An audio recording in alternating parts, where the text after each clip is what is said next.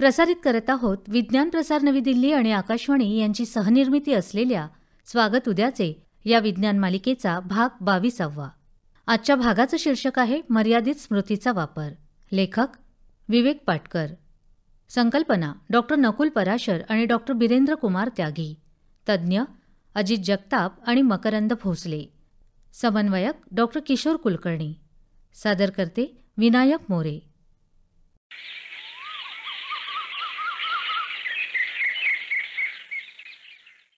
उल्का उठ आता. बघ नऊ वाजत आलेत. आई थोडा वेळ आणखीन झोपू दे ना.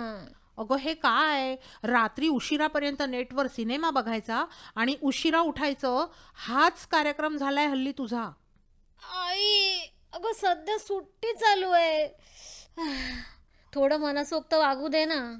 काय चाललंय माय लेकींच अहो तुम्ही उल्का लाड अगदी लाडावून ठेवलंय हं? अगं मागचं वर्ष अगदी घड्याळ लावून अभ्यास आणि इतर गोष्टी ती करत होती. आता तरी तिला थोडं रिलॅक्स होऊ दे. थँक्स बाबा. ओ तेच तर मी म्हणत होते. डोक्यावर चढेल अशा नीती. नाही ग आई. पण तुम्ही मला विचारलं नाही की मी काल कुठला सिनेमा बघितला? रहस्य कथेवर असणार. तुला तशा कथा आवडतात. अगदी तसंच नाही हं बाबा. तो विज्ञान कथा आणि रहस्य कथा या दोघांचं मिश्रण असलेला सिनेमा होता. आता हे आणखीन काय नवीन खूळ अगं आई त्या सिनेमात एक खुनाचं रहस्य शोधण्यात विज्ञानाची तत्व आणि रोबोची म्हणजेच यंत्रमानवाची मदत घेतली होती. काय? यंत्रमानव? वा म्हणजे अगदी उत्सुकता वाढवणारा सिनेमा असणार. अगं यंत्रमानव म्हणजे संगणकाचं एक प्रगत रूप. तो आपल्यासारखा बुद्धिमान बनू शकतो ही कल्पना कशी भारावून टाकणारी आहे? हो तर. पण बाबा माझ्या मनात यंत्रमानवाबद्दल बरेच प्रश्न आहेत. तुम्हाला विचारू? मला? अगं मी तर वाणिज्य शाखेचा विद्यार्थी आणि बँकेत मॅनेजर. मी तुला यंत्रमानवाबाबत काय सांगणार? संगणक क्षेत्रातील तज्ज्ञच तुझं समाधान करू शकेल. अहो आठवतंय का? तुम्ही मागे म्हणाला होतात की तुमच्या एका वर्गमित्राला संगणक क्षेत्रातलं कुठलं तरी मोठं पारितोषिक मिळालं होतं. अग हो की. अ मी विसरलोच होतो त्या अभयला. तुझ्या स्मरणशक्तीची कमाल आहे हा.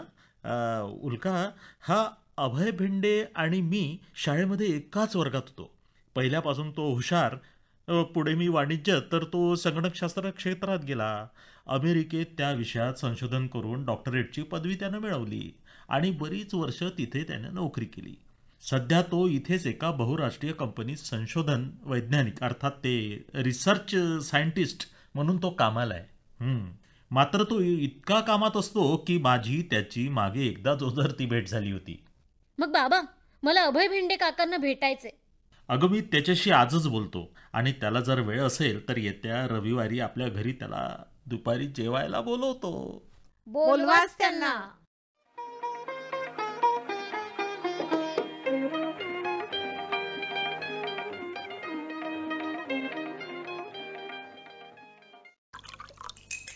प्रदीप आणि सविता वहिनी अगदी मस्त झालं जेवण. आता कबूल केल्याप्रमाणे उल्काच्या प्रश्नांची उत्तरं. थँक्यू काका? मला रोबोबद्दल सांगा ना. म्हणजे तो कसा काम करतो? आपण त्याच्याशी कसं बोलू शकतो? त्याला ते कसं समजतं? अ, तो आपलं नेहमी ऐकेल का? अगं उल्का एकदम किती प्रश्न विचारतेस अभय अरे यंत्रमानवाबद्दल समजून घेण्यास आम्ही बाबा उत्सुक आहोत रे. पण आम्हाला समजेल असं सांग हा. छान. तुम्हाला यंत्रमानवात रस आहे हे ऐकून बरं वाटलं. माझं सगळं संशोधन आणि नोकरीमधली सगळी कामं देखील त्याच्या बाबतीत आहे हे तुम्हाला बहुतेक माहीत नसेल. अरे बापरे. मी थोडक्यात त्याचा इतिहास आधी सांगतो.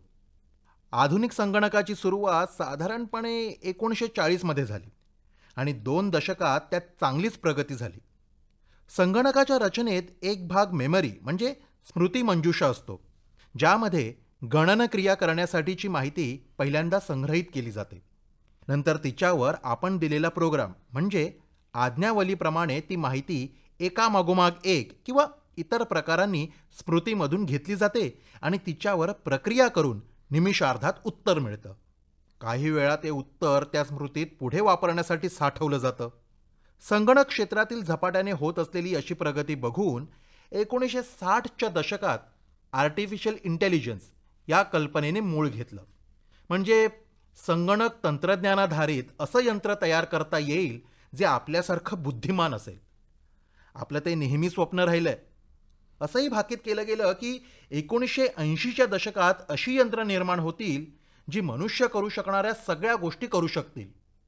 पण असं घडलं तर नाही ना? अगदी बरोबर. कारण लवकरच लक्षात आलं की आपली स्मृती आणि एकूणच मेंदू ही अतिशय गुंतागुंतीची व्यवस्था आहे. त्यांची हुबेहूब नक्कल करणारं यंत्र एकदम बनवणं अशक्य आहे. म्हणून एक एक क्षेत्र घेऊन संगणक प्रणाली त्यात प्रावीण्य मिळवत जाईल असा कार्यक्रम आखला गेला. मग रोबो तयार करणं त्याचा भाग होता.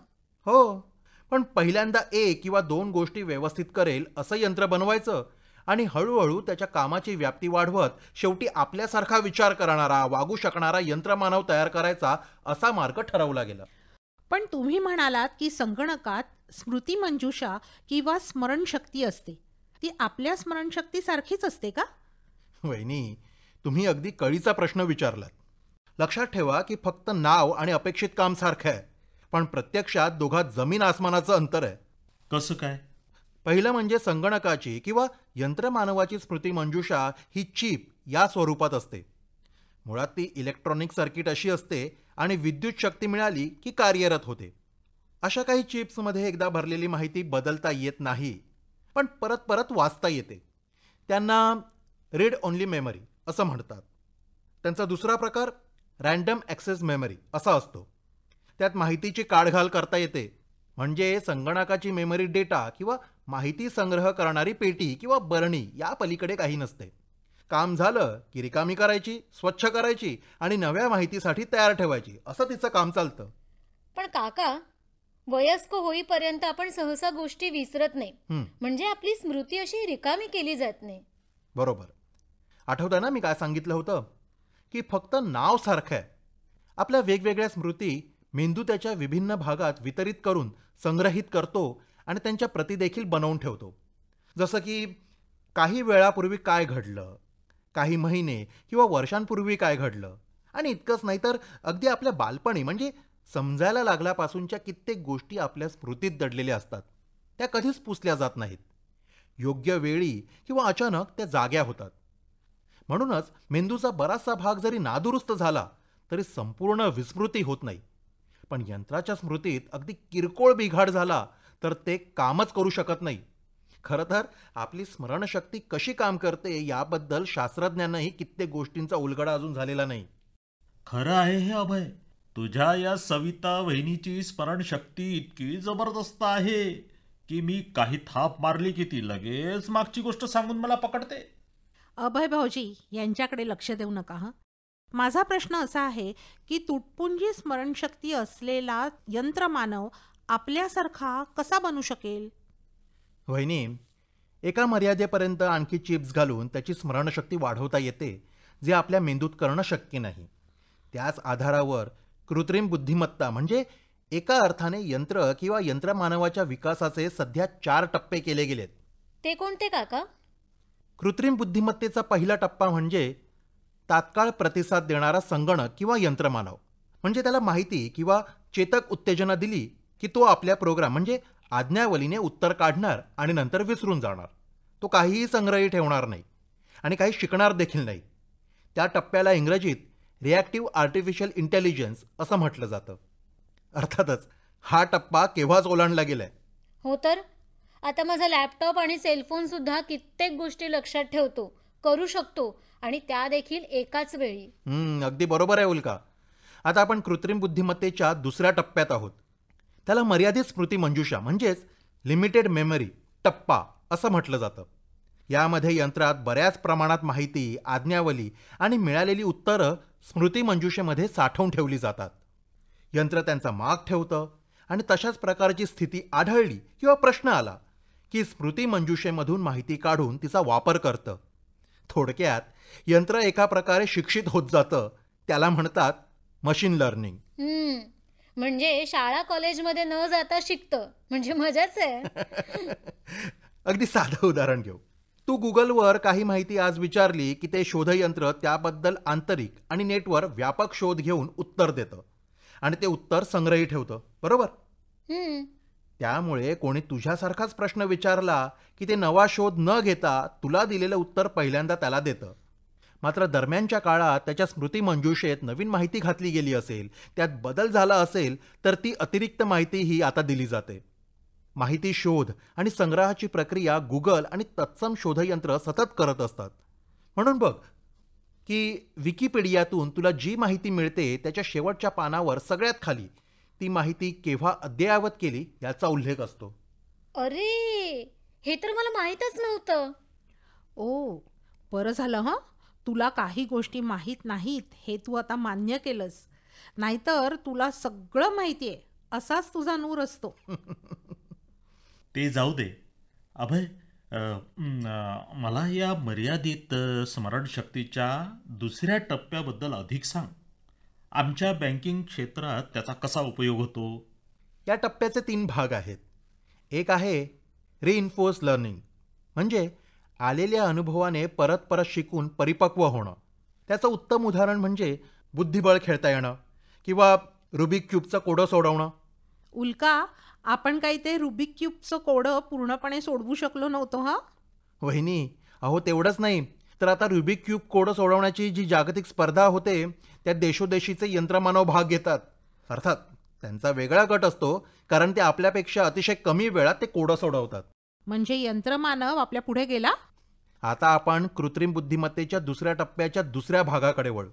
त्याला लॉंग शॉर्ट टर्म मेमरी असं म्हणतात. यात शिक्षण प्रशिक्षण यांच्या आधाराने यंत्र पुढच्या अनभिज्ञ गोष्टींचं प्रश्नांचं उत्तर शोधू शकतो. याचा सगळ्यात जास्त वापर मजकूर लिहिताना तसंच भाषांतर करताना होतो. जवळचं उदाहरण म्हणजे तुम्ही गुगलवर मजकूर टाईप करत असताना अनेक वेळा पुढचा ए किंवा काही शब्द आपोआप उमटतात आणि ते तुम्ही मान्य करू शकता किंवा बदलू शकता. तुम्ही काय पर्याय निवडला याची नोंद ठेवली जाते आणि पुढच्या वेळी त्याप्रमाणे शब्द सुचवले जातात. हो मी त्याचा अनुभव घेतलाय.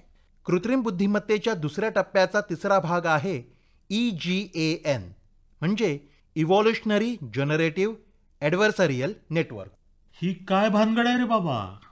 यात यंत्र शिकत जाताना स्वतः प्रयोगही करतं. वेगळा मार्ग शोधतं. त्याला सक्रिय शिक्षण म्हणजे ॲक्टिव्ह लर्निंग असं म्हणतात. त्यामुळे एका तऱ्हेने त्यात आंतरिक उत्क्रांती होत असते. तरी ज्या मार्गाने गेल्यास चुकीचे उत्तर मिळते ते मार्ग पुढच्या प्रक्रियेत किंवा प्रारूपात वापरलं जात नाही. एकूण मानवाची उत्क्रांती पृथ्वीवर जशी झाली तसाच काहीसा मार्ग इथे पुढील प्रक्रिया पिढीत अनुसरला जातो. अशा यंत्राला सतत नवनवीन माहिती देऊन प्रशिक्षित केलं जातं आणि त्यांनी केलेल्या विश्लेषणावर आणि उत्तरांवर सखोल प्रतिसाद दिला जातो. त्यामुळे दर खेपेस यंत्र मागच्यापेक्षा कार्यक्षम होत जातं आणि मागे न अनुभवलेल्या समस्येचं उत्तरही सक्षमपणे काढतं. आमच्या बँकिंग क्षेत्रात याचा वापर होतो? हो तर. तुला कदाचित माहीत नसेल की अमेरिकेत असताना मी अशी संगणक प्रणाली एका बँकेसाठी विकसित केली होती. तिचा वापर करून अर्जदारास कर्ज द्यायचं की नाही? द्यायचं तर किती आणि कुठल्या शर्तींवर? असं ती प्रणाली अर्जात भरलेली माहिती आणि अशाच पूर्वीच्या अर्जदारांच्या माहितीचं विश्लेषण आणि प्रत्यक्षात काय झालं यांच्या आधारे मॅनेजरला सल्ला देत असे. याच्या पलीकडे जाऊन बँकेच्या उपलब्ध गंगाजळीची गुंतवणूक कशी करावी? म्हणजेच पोर्टफोलिओ मॅनेजमेंट याबाबत पर्याय देणारी एक वेगळी प्रणाली सुद्धा मी तयार करून दिली होती. तू तर ग्रेट आहेस. तुझ्या या कामाबाबत मी माझ्या हेड ऑफिसमधील वरिष्ठांना उद्याच सांगतो. वाव काका. किती एक्साइटिंग आहे हे. थँक्स. काका? कृत्रिम बुद्धिमत्तेचा तिसरा आणि चौथा टप्पा काय आहे? आपण आता दुसऱ्या टप्प्यातही खूप प्रगती केली आहे तिसरा टप्पा हा मानवी विचारसरणी आणि वर्तन यांच्या जवळ जाणार आहे. म्हणजे काय? म्हणजे सध्याची उपकरणं आपण दिलेली आज्ञा यंत्रवत करतात. उदाहरणार्थ तुम्ही गुगल मॅपसारख्या उपलब्ध प्रणालीला रागवून काही विचारणा केली तर तिच्या प्रतिसादात काही फरक पडत नाही. याचं कारण म्हणजे त्यांना मानवी आवाजातून किंवा अन्य मार्गाने व्यक्त होणाऱ्या भावनांची संवेदनांची जाण होत नाही. तरी तिसऱ्या टप्प्यात त्याचा प्रयत्न केला जातोय. त्याला मन सिद्धांत म्हणजे थिअरी ऑफ माइंड असं नाव दिलं गेलं आहे काका एखादं उदाहरण द्याल का प्लीज हां सांगतो ना. चालक नसलेली रस्त्यावर धावणारी मोटार याबद्दल तुम्ही ऐकलं असेलच. हो ऐकलंय. अजून ती प्रायोगिक स्वरूपात आहे. पण तिची कार्यप्रणाली थिअरी ऑफ माइंड यातील तत्वांवरच विकसित होते त्याला कृत्रिम भावना बुद्धिमत्ता म्हणजे आर्टिफिशियल इमोशनल इंटेलिजन्स असं देखील म्हटलं जातं. त्याचा वापर करून यंत्र माणसाच्या आवाजातून व्यक्त होणाऱ्या भावना समजून वेगवेगळ्या प्रकारे म्हणजे प्रोग्राम न केलेल्या कृतींनी प्रतिसाद देईल. अरे बापरे हे तर विलक्षणच असेल नाही? काका मग चौथ्या टप्प्यात काय? हा टप्पा अजून बराच दूर आहे. विज्ञान कथांमध्ये चर्चेला जातो. त्याला सेल्फ अवेअर म्हणजे स्वअस्तित्वाची जाणीव असं नाव दिलंय. अर्थातच आज त्याची काहींना भीती तर काही जणांना दुर्दम्य आशा वाटते. असं यंत्र माणसापासून स्वतंत्र असेल आणि मानवाला त्याच्याशी अगदी वेगळ्या तऱ्हेने वागावं लागेल हे मात्र निश्चित. चांगलं घडेल की वाईट हे आज कोणी ठामपणे सांगू शकत नाही. उल्काबाई तुला बहुधा अशा यंत्रांशी जुळवून घ्यायला लागणार असं दिसतंय. अभय मनपूर्वक आभार हा? अरे किती सोप्या रीतीनं तू आम्हाला आर्टिफिशियल इंटेलिजन्सबद्दल माहिती दिली. काका एक विचारू? अगं बिंदासपणे विचार. अ, काका तुम्ही असा प्रगत यंत्रमानव मला दाखवू शकाल? हो थोडी झलक तरी नक्की. त्यासाठी तुम्ही सगळे पुढच्या रविवारी संध्याकाळी सहाच्या बेताला माझ्या घरी या आणि गंमत बघा. नंतर आपण सगळेजण बाहेर जेवायला जाऊ कारण लतिका आणखी दोन महिने तिच्या संशोधन प्रकल्पासाठी आसाममध्ये तेजपूर विद्यापीठात राहणार आहे. अरे म्हणजे वहिनीची तेव्हाही भेट होणार नाही? प्रदीप माझ्या मित्रा तुझ्या स्मृतीमध्ये पुढच्या रविवारी माझा वाढदिवस आहे हे पुसून गेलेलं दिसतंय. हा?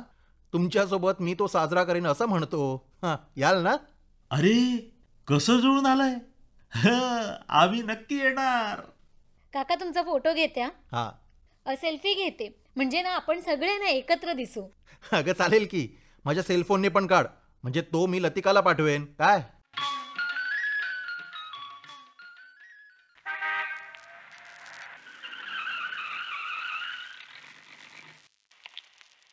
उल्का आपण बरोबर पत्त्यावर पोचलो आहोत. बघ दारावर अभयचं नाव आहे. वाजव बेल. तुमचं स्वागत आहे. तुम्ही अगदी वेळेवर आलात. अगं बाई लतिका वहिनी परत आलेल्या दिसतात. पण त्या दिसत नाहीत कुठे? मी आहे गुणवंती अभय सरांची सहाय्यक. बसा सर येतीलच. प्रदीप अरे आलात तुम्ही? काय रे? तुझी सहाय्यक गुणवंती ही काय भानगड आहे? सहाय्यक ऑफिसमध्ये असते.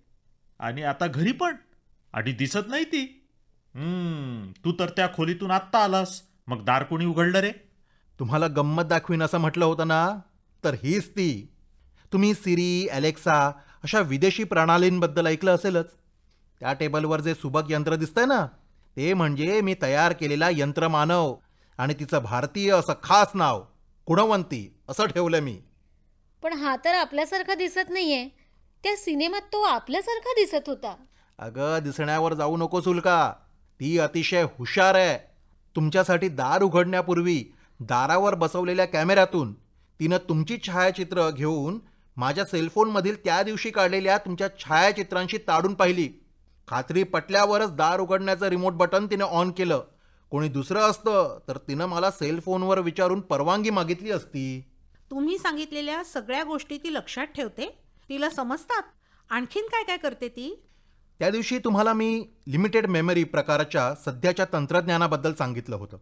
तर ही गुणवंती त्यातील प्रगत प्रकाराची आहे. आणि मी त्यात तिसऱ्या टप्प्यातील कृत्रिम बुद्धिमत्ता काही प्रमाणात घालण्याचा प्रयत्न केलाय. सांगा ना त्याबद्दल आणखी. इंटरनेटचा पुढचा टप्पा आहे इंटरनेट ऑफ थिंग्सचा. यात घर दुकान कार्यालय यातील सगळ्या मुख्य गोष्टींवर अतिसूक्ष्म पण सक्षम सेन्सर्स लावलेले असतात आणि इंटरनेटने ते जोडलेले असतात. त्यामुळे त्या गोष्टी एकमेकांशी संवाद साधू शकतात स्वतंत्रपणे निर्णय घेऊ शकतात.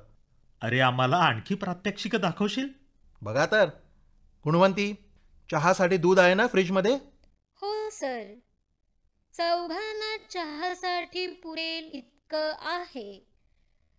मग मी एक लिटर मागवेन. तसंच पाव आणि अंडी देखील मागून घेईन कारण ती संपली आहेत. मघाशी तुम्ही मला हुशार म्हटलं त्याबद्दल आभार. अगं बाई तिला आपलं कौतुक पण समजतं? हे कसं काय ती करू शकते? अहो फ्रीजच्या विशिष्ट कप्प्यात आणि तिथल्या काही भांड्यांवर मी सेन्सर्स म्हणजेच संवेदक बसवले आहेत ते फ्रीजमध्ये किती दूध पाव आणि अंडी शिल्लक आहेत याचा हिशोब करतात. आणि ती संख्या पुरेशी नाही असं दिसल्यास गुणवंती त्यावरून मला न विचारताही इंटरनेटद्वारे दुकानदाराला ऑर्डर देऊ शकते आणि मला ते बिल तपासून दुकानदाराच्या बँक खात्यात योग्य रक्कम भरायला सांगू शकते. कौतुकाबद्दल बोलायचं तर ती सगळ्या ऐकलेल्या शब्दांचं आणि वाक्यांचं विश्लेषण करून अनुरूप प्रतिसाद देऊ शकते. अरे ही गुणवंती आणि एकूण तुझं हे घर म्हणजे बाबा मायावी विश्वास आहे. अरे माझं सोड वयस्कर एकटे राहणारे किंवा दिव्यांग व्यक्तींना केवढा मोठा आधार त्यांनी मिळू शकतो याचा विचार कर. त्यांना कुत्रे जसे उपयोगी पडतात कदाचित त्यापेक्षा अनेक पटींनी असे यंत्र मदत करू शकतं. तुमची आणखीन कुठली कामं ही गुणवंती करते? आपण तिलाच विचारू. गुणवंती येत्या आठवड्यात माझा काय कार्यक्रम आहे? थोडक्यात सांग. सोमवार मंगळवार आणि बुधवार रोज सकाळी दहा ते बारा बजेट संबंधी तुमच्या आंतरिक मीटिंग्ज आहेत. मंगळवारी संध्याकाळी आठ वाजता तुम्ही डॉक्टर डॉक्टर सुजय जोशींसोबत बाहेर जेवण घेणार आहात. गुरुवार ते शनिवार तुम्ही अहमदाबादला असणार आहात. तुमची येण्या जाण्याची विमानाची तिकीट मी काढली असून तुमच्या सेलफोनमध्ये ठेवली आहेत हम्म पाहिलंच ना. मी तिला सहाय्यक का म्हणतो ते? मांदरे तुला आणि या तुझ्या गुणवंतीला मानलं बाबा. काका अ, ही गुणवंती तुम्ही तयार केलीत? हो. अगं माझं तेच काम आहे. मात्र त्याबद्दल आणखी काही विचारू नकोस हा. ट्रेड सिक्रेट आहे ते. नाही विचारणार हा काका. असं फक्त ना सिनेमात किंवा परदेशात असतं असं वाटत होतं. पण तुम्ही ते केलंय हे बघून मला मला ना आकाशा इतका आनंद झालाय. मी या गुणवंतीबरोबर सेल्फी घेऊन माझ्या ग्रुपवर टाकते. चालेल ना? हम्म. खरं आहे हं भाऊजी. मी वाचलं होतं पण विश्वास नव्हता की प्रत्यक्षात आपल्या इथे हे शक्य आहे. पण काय हो? लतिका वहिनींना हे सगळं चालतं? मुद्द्यालाच प्रश्न विचारलात वहिनी. सहसा गुणवंतीला मी ऑफिसमध्ये ठेवतो आणि ऑफिसच्या कामासाठीच बहुतेक वापरतो. मात्र सध्या एकटा असल्याने घरच्या कामाचा प्रोग्राम मी तिच्यात घातलाय. पण त्यामुळे लतिका आश्वस्त होऊन तिचं संशोधन करू शकते. ती परत आली की गुणवंतीची रवानगी पुन्हा ऑफिसमध्ये. लतिकाची आमच्या संसारातली जागा अबाधित आहे. एक मात्र खरं की अशा प्रगत यंत्रमानवाशी कसं बोलायचं वागायचं हे आपल्याला शिकणं आता भाग पडणार आहे. गुणवंतीशी बोलताना काळजी घ्यावी लागते. माझ्या अमेरिकेतल्या प्राध्यापकांना सांगितलेलं एक वाक्य मी कधी विसरत नाही. ते म्हणायचे यंत्र हे उत्तम सेवक आहे. पण मालक म्हणून अतिशय क्रूर ठरू शकतं. अरे कृत्रिम बुद्धिमत्तेच्या दुसऱ्या टप्प्यातली लिमिटेड मेमरी असलेली ही गुणवंती इतक्या करामती करू शकते? तर गुणवंती टू पॉईंट झिरो म्हणजे पुढल्या टप्प्यातली गुणवंती काय काय करू शकेल? बाबा ह्याची कल्पनाच करता येत नाही. भाऊजी गुणवंतीच्या गुणगानात आम्ही तुम्हाला वाढदिवसाच्या शुभेच्छा देणं सुद्धा विसरून गेलो. हे बॉक्स ठेवा. वहिनी वाचताना मस्त हेतू आहे मी बॉक्स उघडतो हा हा हा हा हा. माझ्या आवडत्या पुरणपोळ्या आणि अळूवड्या. दोन्ही मला अगदी प्रिय असलेले पदार्थ. केकपेक्षाही अधिक आवडणारे. वा वा वा वा. खूप खूप धन्यवाद. सर माफ करा हां. आठ वाजले आहेत. तुम्हा चौघांना दिल्ली दरबार उपहारगृहात जेवायला जायचं आहे. तुमचं टेबल त्यांनी राखून ठेवलंय. आणि लतिका मॅडमनी सांगितल्याप्रमाणे तुमच्या आवडीचा चॉकलेट केकही तुम्हाला दिला जाईल याची मी परत खात्री केली आहे. आणखी एक सर. तुम्हाला रात्री साडे दहा वाजता मॅडमशी आणि अकरा वाजता अमेरिकेतील मिस्टर जेम्स थॉमसशी बोलायचं आहे. आभार गुणवंती. बाय गुणवंती. मी तुझी परत भेट घेईन. जरूर ये. तुला शुभेच्छा. तुम्ही सगळे आलात. यामुळे सरांना फार आनंद झाला. कारण आज वाढदिवसाच्या दिवशी त्यांना मॅडमची फार आठवण येत होती. अगं गुणवंती भाऊजींनी नाव ठेवल्याप्रमाणे तू अगदी गुणाची आहेस हं? लतिका वहिनी येईपर्यंत त्यांची अशीच काळजी घे. आभार सविता मॅडम. तुम्हाला माझं काम आवडलं हे ऐकून बरं वाटलं. परत भेटू.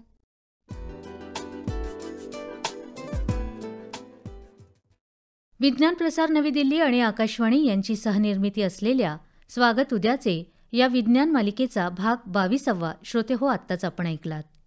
आजच्या भागाचं शीर्षक होतं मर्यादित स्मृतीचा वापर. लेखन विवेक पाटकर. सहभाग आई माधुरी लोणकर. उल्का शिल्पा साने. बाबा सुभाष इंजेवार. संगणकतज्ज्ञ डॉक्टर अभय हर्षद पांचाळ. निर्मिती सहाय्य पूजा काळे. सहकार्य मराठी विज्ञान परिषद मुंबई आणि सादर करते विनायक मोरे. ही आकाशवाणी मुंबई केंद्राची निर्मिती होती.